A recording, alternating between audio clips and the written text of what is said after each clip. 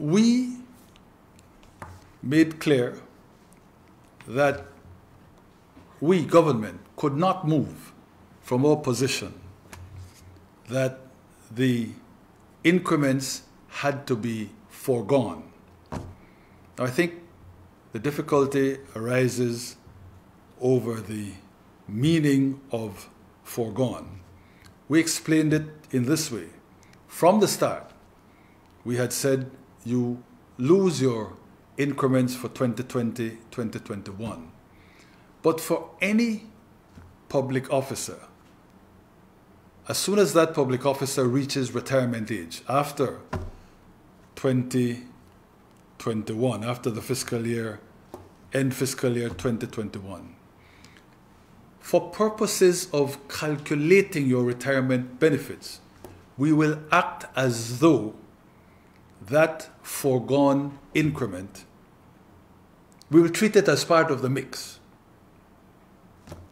Indeed, because uh, how you, the modalities of actually achieving that can be a little bit tricky, we agreed on the formation of a small committee that would examine uh, exactly how the calculations would take place. But uh, I don't need to trouble you with the particulars of that. The fact is, the agreement, government's position was you forego the increments, although at the time of retirement, those increments or the foregone increment will be inputted into the formula for determining your pension benefits.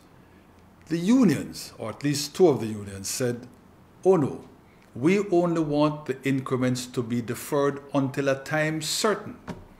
Meaning, I think in one case they said two years. They came up with another possible formula as soon as there is a 2% GDP growth.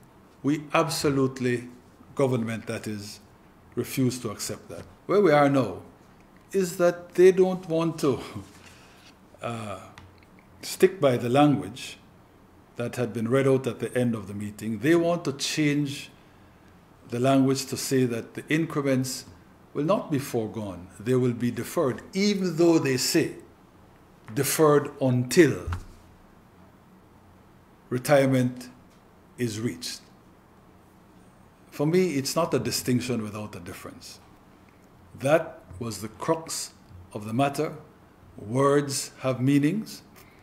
We agreed yesterday that it was a question of foregoing the increments, and I'm afraid that government is determined to stick to that.